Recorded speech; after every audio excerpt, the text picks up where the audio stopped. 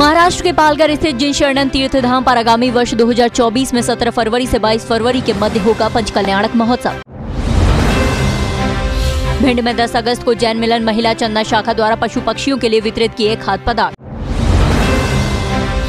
डूंगरगढ़ के श्री चंदगिरी तीर्थ पर विराजमान संत शिरोमणि आचार्य श्री विद्यासागर जी महाराज के दर्शनों को पहुँची प्रतिभा स्थली की छात्राएँ। घाटोल के श्री वासु पूज्य दिगंबर जैन मंदिर में 725 वर्ष प्राचीन मूल नायक श्री वासु पूज्य भगवान का किया जाएगा महामस्तकाभिषेक। प्रयूषण पर्व में विशाल स्तर पर 19 से 28 सितंबर तक होगा आयोजन।